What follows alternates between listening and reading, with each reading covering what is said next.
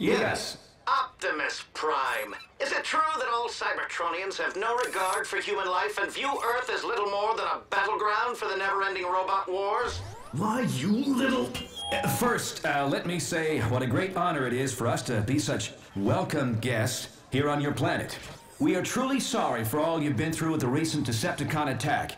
We understand that with the threat of Megatron still looming out there, fears can run a little. Enough! You bots will direct your questions directly to me. Don't ever presume you can speak for me, Optimus. The last thing some overglorified repair bot shooting his audio processor off about things he doesn't understand. A scrub like you should just smile and wave and stay out of the way. Now, let's get this over with. Hey, what am I supposed to do now? Well, uh, according to human custom, you shake hands with the mayor.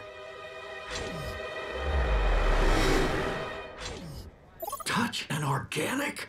Unless you want to pass off such a great diplomatic responsibility to such a lowly repair bot.